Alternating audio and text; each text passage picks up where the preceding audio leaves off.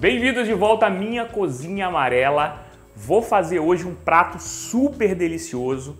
Ele é tradicional de Pernambuco, mas está espalhado no Nordeste inteiro. Na Bahia tem muito também. Existem dezenas de variações desse prato. Eu vou te ensinar uma e até o final do vídeo a gente vai conversando. Eu vou te dando umas dicas para você mudar, para você fazer a sua versão, a versão que a sua família vai gostar mais, tá bom? Vamos fazer arrumadinho hoje. Bora para a receita. Vamos começar com o nosso vinagrete. Eu tenho aqui um tomate sem semente, já picado, só colocar aqui dentro. Um tomate grande, né? Vocês estão vendo, bastante tomate, né? Meio pimentão verde pequenininho. Aqui eu tenho uma cebola roxa grande picada, só que eu não vou colocar ela toda, eu vou colocar um terço, porque a gente vai usar um pouco na carne e um pouco também na farofa.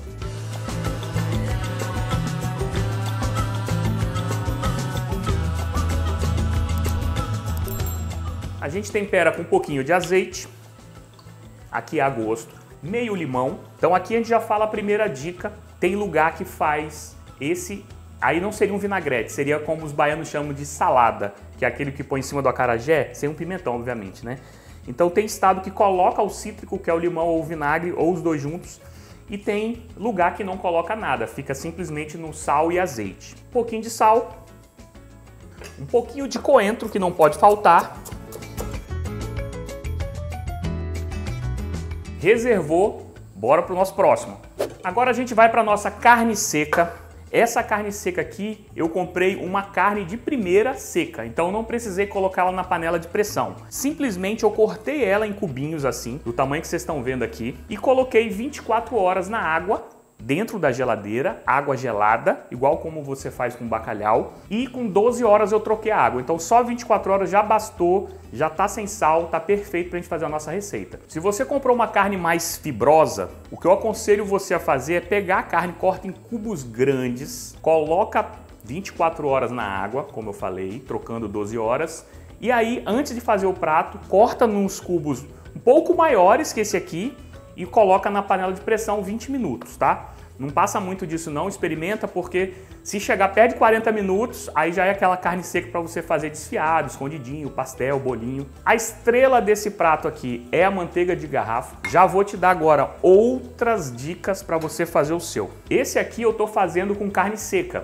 Mas na Bahia eles fazem com a carne seca, fazem também com carne de fumeiro, que é uma carne defumada deles, uma carne de porco defumada, uma coisa bem artesanal, uma carne bem típica do Nordeste. Fazem também com calabresa, com outros tipos de linguiça, então a carne você vai poder colocar a que você quiser, tá? Não tem certo ou errado nesse prato, a única coisa certa é que tem que ter a saladinha, a carne, a farofa e o feijão. Na hora do feijão tem mais dica também. Manteiga de garrafa, carne aqui para dentro,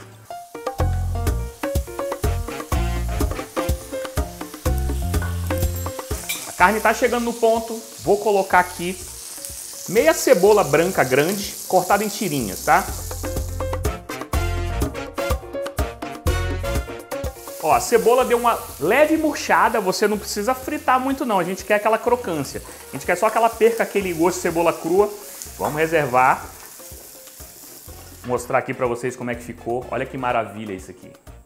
Agora é o seguinte, tá vendo esse fundinho de panela? Ele vai dar o sabor dessa carne seca no nosso feijão. Reserva junto aqui com o vinagrete. Dica do feijão. Aqui onde eu moro é muito difícil a gente encontrar o feijão de corda, tá? O feijão de corda, ele é muito parecido com o feijão fradinho, mas quando você olha, ele é um pouquinho menor.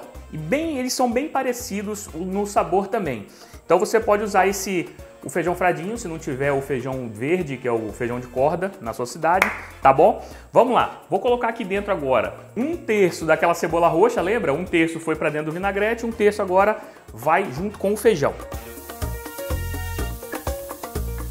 Uma pitada de sal para poder essa cebola soltar líquido e a gente conseguir limpar esse fundo de panela aqui, tá?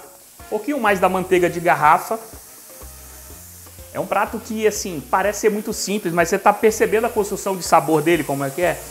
Todos os, os preparos têm que ter sabor, não pode ter um preparo insosso, todos têm que ter esse gosto da carne seca, tem que ter a manteiga. Ó, o fundinho da frigideira tá saindo, tá vendo?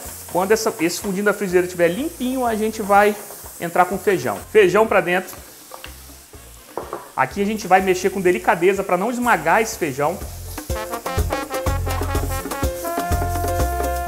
Acerta o seu sal. Eu preciso dizer como que eu cozinhei esse feijão, né?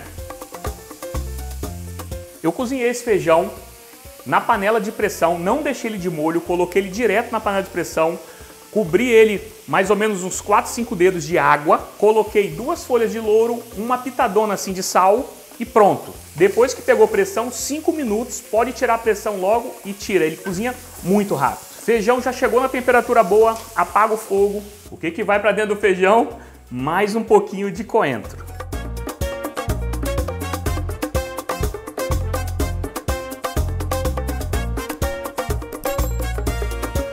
Reserva o feijão também. Essa frigideira ainda tem um pouco daquele fundinho, mais um pouquinho da manteiga. Aquele terço da cebola roxa que estava sobrando. E agora a gente vai fazer a farofa. Bastante manteiga porque a farofa, né? Farofa, gordura na farofa é vida para dar aquela crocância que a gente gosta.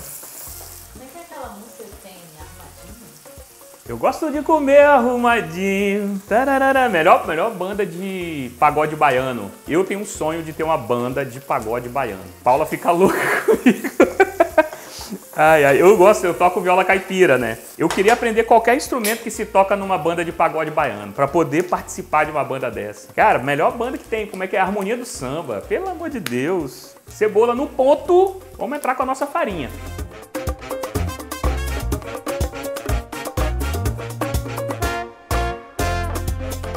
Essa farofa você pode fazer ela como pode fazer ela como uma farofa de bacon também. Cada estado, cada restaurante às vezes lá em Pernambuco ou na Bahia, eles fazem da forma deles. Vou colocar um pouquinho de sal. Agora é fogo baixo, mexe devagar até a farinha ficar bem crocante.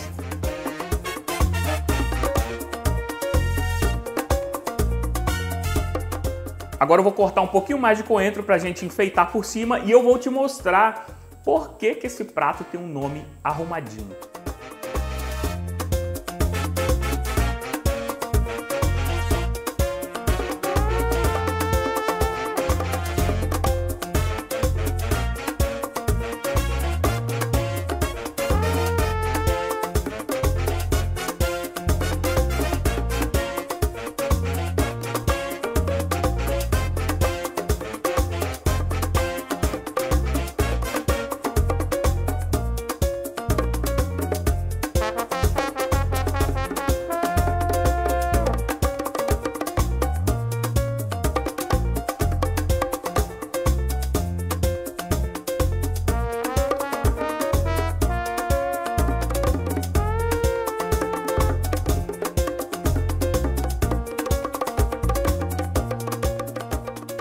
Vocês viram montando aí, né? Esse prato é sensacional. Você entende agora por que ele se chama arrumadinho, tá vendo? Mas no prato você mistura tudo, que fica mais gostoso ainda. Uma maravilha. Espero que você faça. Espero mesmo, porque esse prato é delicioso. Dá uma olhadinha também lá no nosso Instagram, tá bom? Tem bastante coisa legal lá. Beijo e até a nossa próxima receita.